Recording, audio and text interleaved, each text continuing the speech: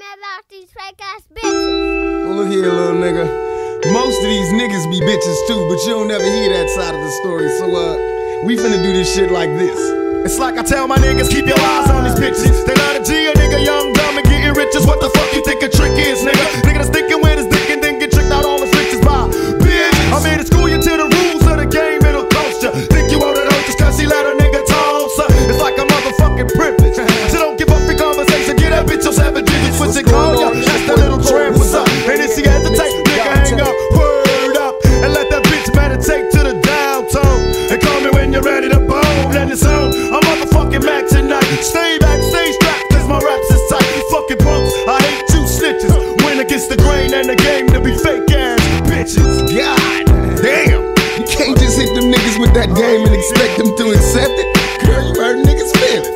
Feelings. But we gon' kick this shit like this here.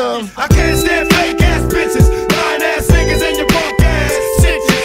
I can't stand fake ass bitches, lying ass niggas, and your punk ass snitches. Tommy show these monsters who's boss. Run up on a real get tossed. The game is deep and thicker than a motherfucking Jimmy. Broke hoes running around yelling, Kimmy. I can't stand it.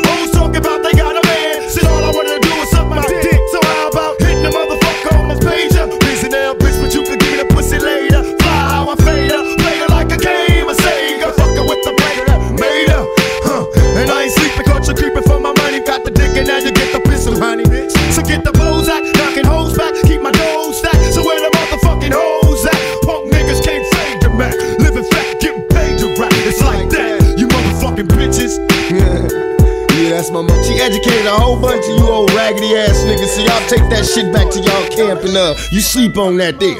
It's like, can't stand fake ass bitches, lying ass niggas, and your punk ass snitches. I can't stand